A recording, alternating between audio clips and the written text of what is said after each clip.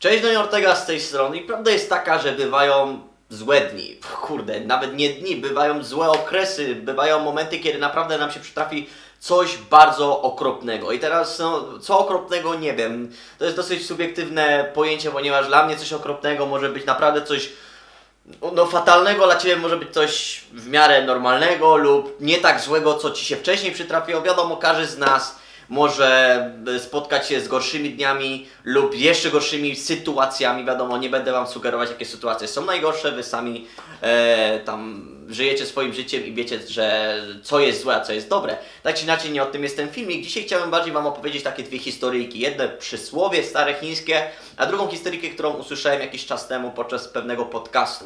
I jak Wy zinterpretujecie tą historię lub jak to przełożycie na swoje życie, to pozostawiam Wam. Powiem Wam pokrótce, jak ja rozumiem tę historię i jak ja je jakby przekładam na moje życie. Wy możecie to z tego wziąć coś pozytywnego, możecie oczywiście, nie wiem, się urazić tymi historiami i zacząć wymyślać różne teorie, jak to niektórzy potrafią robić. E, tak czy inaczej, e, interpretacje i to, czy Wam się polepszy dzień, czy sytuacja, czy nie, zostawiam Wam. Ja Wam tylko opowiem tę historię. Tak czy inaczej, pierwszą historią, jaką chcę opowiedzieć, to jest historia Dana, Dana Bilzeriana. Dan Bilzerian to jest ten taki, taki bogaty facet z brodą, który na Instagrama dodaje te wszystkie swoje imprezy, jak jeździ na jachtach z półnagimi laskami, z wielkimi cyckami, z bronią w ręce i tak dalej, imprezuje. To jest ta osoba, którą połowa ludzi nienawidzi, połowa ludzi uwielbia, połowa ludzi ma w dupie, tak czy inaczej trzeba mu przyznać, że mimo tego, że wiadomo, imprezuje jak imprezuje, ale wie jak prowadzi swoje social media i co przyciąga wzrok. Trzeba mu to akurat przyznać. Tak czy inaczej był podcast e, Joe'a Rogana. Joe Rogan to jest um, komentator w UFC, też prowadzi bardzo fajny podcast. E, no i rozmawiali między sobą i Dan Bilzerian opowiedział tam mniej więcej te swoje historie, jak zakłady robił i tak dalej. E, I opowiedział bardzo ciekawą historię, która przyciągnęła jakby moje ucho. Powiedział, z, co zrobił na jednej imprezie, raczej z kim imprezował. No i imprezował, a raczej zaprosił na imprezę jeden, jednego z weteranów wojennych e, w Iraku. No i ten weteran miał amputowane nogi. Wiadomo, najechali na bombę, pułapkę i eksplodował tam samochód. Wiadomo, musieli mu amputować nogi, żeby mógł przeżyć.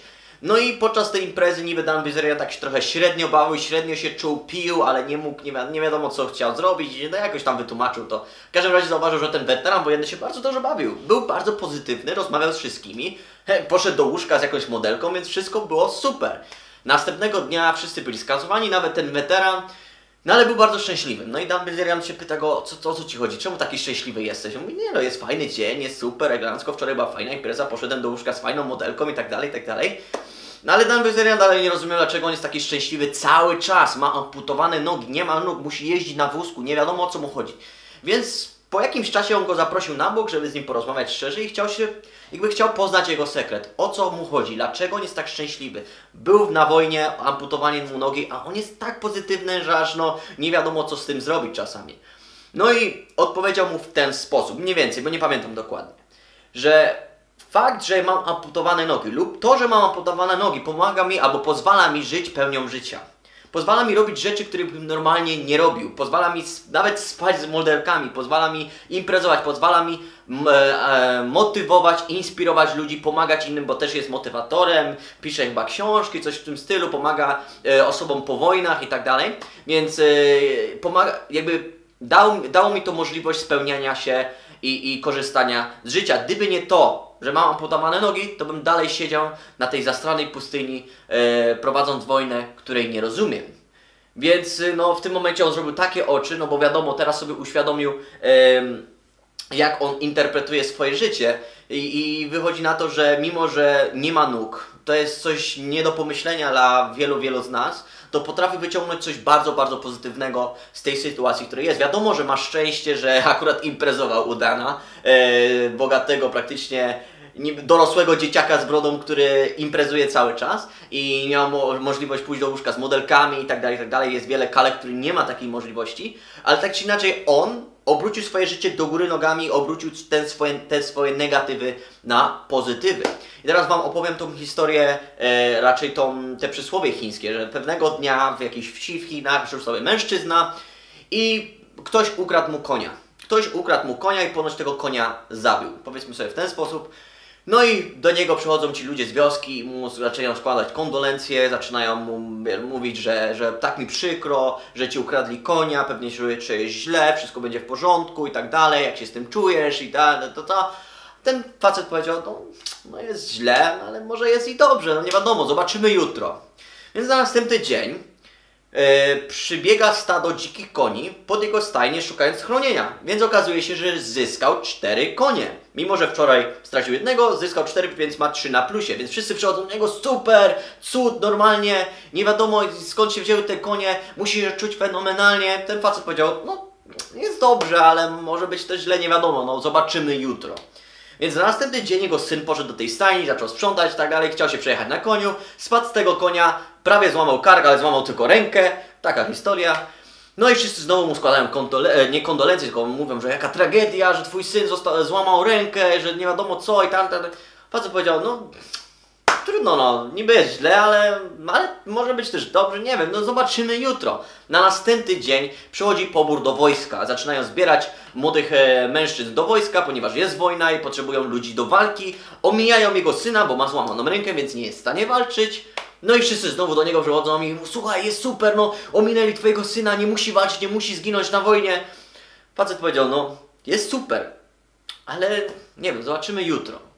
Widzicie, i teraz jak ja rozumiem te dwie historie? Wychodzi na to, że nieważne co się stanie, czy dobrego, czy złego, musimy też w pewnym sensie zachować zimną krew, bo za rogiem zawsze może się czekać, czekać coś niedobrego lub złego. Musimy być czujni. Też nie możemy przywiązywać jakby się za bardzo do pewnej sytuacji, ponieważ zaraz może być dobrze, zaraz może być źle. Musimy być na to gotowi. Z drugiej strony, zawsze jak jest coś źle, możemy to obrócić na coś pozytywnego. Nawet jak nie masz nóg, jesteś w stanie może po jakimś czasie, może nie od razu, ale po jakimś czasie obrócić to na coś pozytywnego. Więc ja to tak rozumiem. Cokolwiek mi się dzieje, spóźnił mi się tramwaj, nie wiem, z, z, samochód się zepsuł, e, zapomniałem pieniędzy, komputer mi się zepsuł, cokolwiek się stało, nie wiem, nie mogę iść gdziekolwiek. Coś się stanie, zawsze jestem w stanie obrócić to na coś pozytywnego, ponieważ daje mi okazję na zrobienie rzeczy, które bym normalnie nie zrobił, ponieważ jestem zmuszony zrobić to i tamto. Wiadomo, chodzi o sam sposób myślenia. Ja tak rozumiem tę historię. I ostatnio jakoś zacząłem próbować przynajmniej sobie to przerabiać w ten sposób. Cokolwiek złego się stanie u mnie, zaczynam sobie to przekształcać właśnie w ten sposób. Przynajmniej sobie staram, się staram. No i w większości przypadków zaczyna mi to wychodzić, że faktycznie nie jest tak źle, jak może się wydawać ta sytuacja.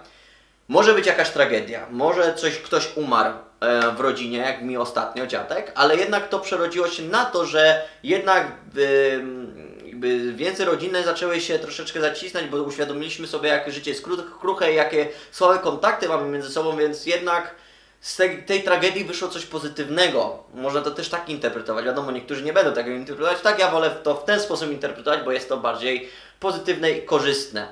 Więc zostawiam Wam te historie, możecie sobie zinterpretować jak chcecie, możecie sobie je powtarzać, powtarzać innym, zapytać się ich, jak oni rozumieją tę historię. Widzicie, miało być 6 minut, a wyszło ponad 8, tak czy inaczej. Pamiętajcie, jest zły dzień, trudno. Ja dzisiaj mam taki średni dzień, nie wiem, nic mi się nie chce, nic mi niby nie wychodzi, nie mam ochoty na to, nie mam inspiracji, nie mam motywacji, nie wiadomo co jeszcze.